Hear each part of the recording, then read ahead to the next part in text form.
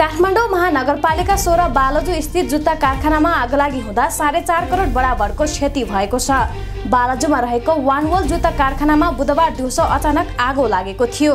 आगो स्थानीय र दमकलको सहायतामा प्रहरी तथा नेपाली सेनाको टोलीले नियन्त्रणमा लिएको थियो। जुत्ता कारखानाका सञ्चालकले हाल आगलागीबाट साढे चार करोडको क्षति भएको दावी गरेको जिल्ला प्रशासनिक कार्यालय काठमाडौँका प्रमुख जिल्ला अधिकारी गोविन्द प्रसाद रिजालले बताएका छन्।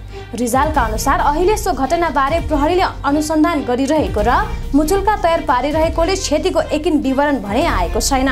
प्रहरीको अनुसन्धानपछि मात्रै घटनाको विषयमा यथार्थ कारण पहिलाउन सकिने रिजालले बताएका छन्। उहाँहरूले लगभग साढे चार करोड हाम्रो क्षति भनेर दावी गर्नु भएको छ। हजुर।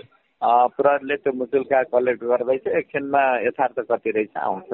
आगो नियन्त्रणमा आइसक्यो त्यसो भए आगो नियन्त्रणमा आइसक्यो। कारखानामा लागेको आगो दिउँसै स्थानीय र प्रहरीको सहायताले नियन्त्रणमा लिइसकेको प्रमुख जिल्ला अधिकारी रिजालले बताएका छन्।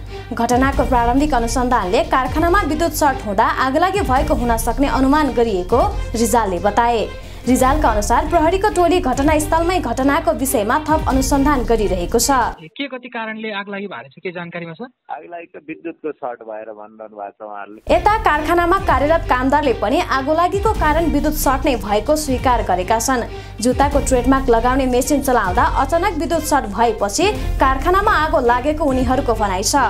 आगोलागी भएको वानवल जुत्ता कारखाना बालजो औद्योगिक क्षेत्रसँगै जोडिएको छ। आगलागीबाट कारखानामा रहेका कच्चा पदार्थ र केमिकलहरू जलेर नष्ट भएका छन्। कारखाना वरिपरि घरहरू भए पनि आगोले कुनै क्षति नगरेको प्रहरीले जनाएको छ। आगलागीको घटनाप्रति गृहमन्त्री बालकृष्ण खाँडले पनि चासो देखाएका छन्।